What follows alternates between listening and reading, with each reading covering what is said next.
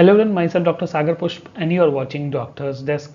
So after a long time I'm posting video as I am busy in my residency that's why I'm not getting so much time but I'm trying my best to collect all the information which you people don't know and uh, all this information will help you uh, while choosing your career or in your career. So in this video we're going to discuss about the Indian Railway Health Services uh, for the post of direct DMO and direct senior DMO through the UPSC. So in this video, we're going to discuss about uh, the educational qualification need for uh, needed for this, experience needed for this, uh, what procedures you have to follow, through which uh, you will get uh, selection, and uh, what is the salary about the posting. All the things we're going to discuss in detail here. So I hope this video is going to help you a lot. So let's start the video now.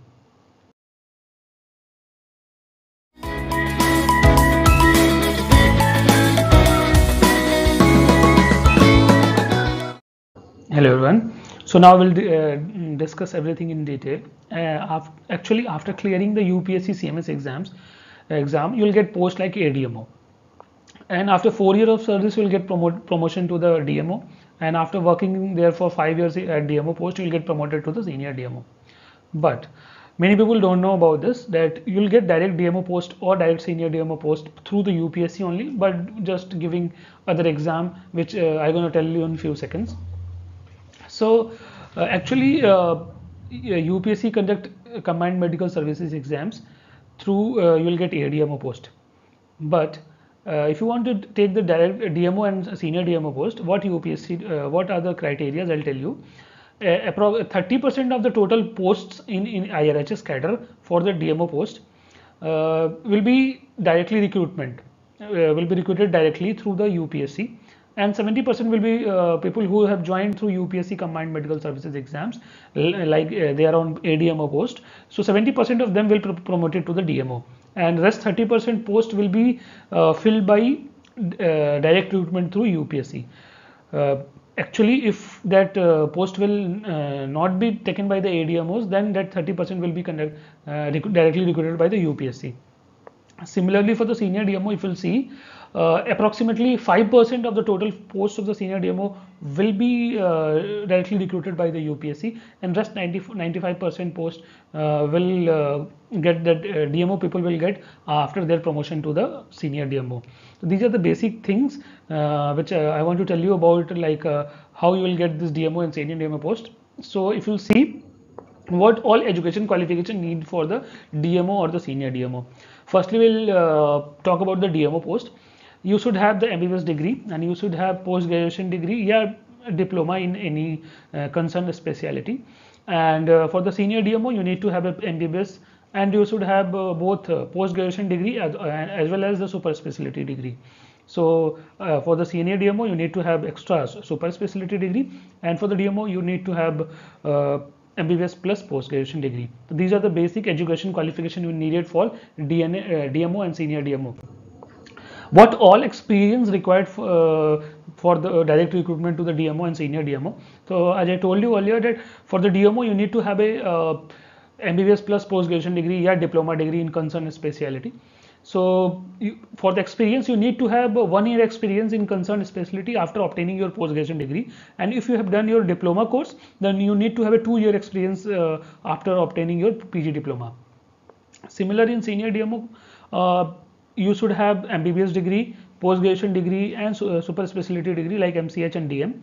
And uh, uh, along with that, you need to have a two years uh, working experience after obtaining your uh, MD-IMS, uh, yeah, DNB. So these are the experience required for uh, getting direct post like DMO and senior DMO through the uh, UPSC. What procedures you have to follow for uh, getting into this post? Actually, UPSC on every two to three years they'll conduct interview for the direct recruitment to the DMO and senior DMO post. So all you need to uh, do that you need to check the UPSC site regularly.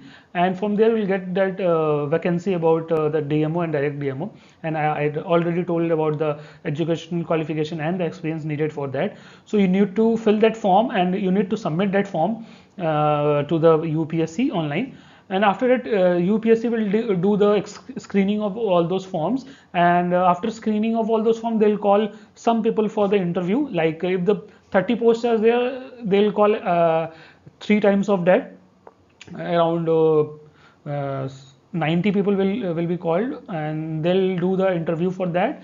And uh, they, will just uh, ask uh, their mm, questions regarding to the concerned department your concerned specialty and some other uh, different questions regarding the general uh, things related to the health department so while uh, then after they'll conduct the interview and after that they'll put the result and then railways will railway board will contact you and you'll you'll get your posting.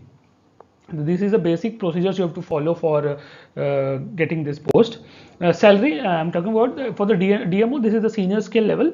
Uh, if you're joining as a admo you'll be junior scale and after doing job for uh, four years you'll be uh, promoted to the dmo and in the ADMO the level will be the 10 and basic salary will be 56,100 uh, and in 11 direct, uh, level 11 will basic pay will be 67,000 67,700 and approximately you will get salary around 1 lakh 20 or 25,000 and if you're joining as a senior, senior DMO uh, this is a junior administrative grade uh, and then uh, your 7 CPC level 12 and your basic pay will be 78,800 and approximately 1 lakh point, uh, 1 lakh 50,000 or 1 lakh 60,000 you will be you will get overall sol- uh, salary so if you want to know about the salary details, I had already posted two videos regarding the salary. So you can, uh, I am, I'll share the link in the description. So you can directly go to that link and watch the every details about the salary, like what all airlines will you'll get. Plus, uh, I have already discussed about the all the regarding all the hospitals of the railways. So you can also uh, uh, going to share all these links in the description. So it will help you while choosing your career. So uh, training for if you are joining as a DMO, you will get two to four weeks orientation training at National Academy of Indian Railways Vadodara. So after getting your appointment letter, they'll call you to the NAIR Vadodara and they'll conduct two to four week orientation training at the Vadodara. So uh, your posting, and let's talk about the posting. Uh, before uh, watching this posting thing, you, I think uh, mm, you should watch uh, all the three parts of the types of railway hospital in the uh, mm, in the IRHS cadre. So after watching that, you will get to idea about each and every hospital and the working style of each and every hospital. So if you are joining as a specialist, uh, mainly you will get posting in the divisional hospitals and the central hospitals. So what are the divisional hospitals and what are central hospitals? For that, you need to watch that video. Uh, for that, I'll share the link in the description. So, and uh, you may be posted in the divisional hospital or in the central hospital. And if you're joining as a senior DMO, 99% uh, chances are that you will get posting in central hospital only. So, uh, about the DMO and senior DMO, I already discussed uh, in my previous part of this video. So, I hope uh, this video will uh, gonna help all the all the people who are uh, completed after completing their post graduation are giving the UPSC CMS exam and joining as a ADMO. Uh, so if you want to uh, join directly as a DMO or directly as a senior DMO, these these are the very good opportunity for you. Uh, many people don't know about this, so I thought I'll make a video regarding this, so it will help other people who want to join railways after completing their post graduation or the super specialty. So I hope you have liked this video. So i am trying my best to collect all the informations regarding the opportunities for the medical graduates. So some more, uh, lot more are coming. I hope all the all those things also going to help you a lot. Uh, so I'm not getting so much time, but uh, uh, whatever time I'm getting, I'm trying my best, trying my best to collect all the information and making make videos uh, regarding that and putting on my channel. So kindly follow, share, and subscribe so that I can make some more videos and it will uh, give me po a positive boost up. So it will help me uh, making some more videos for you. So again, all the best for your life. Keep helping others. It will come back to you in anyways you have different different uh, things to do in your life. All the best for your life. And uh, upsc cms exam is coming. So again all the best for that exams. So keep watching and kindly follow share and subscribe. Thank you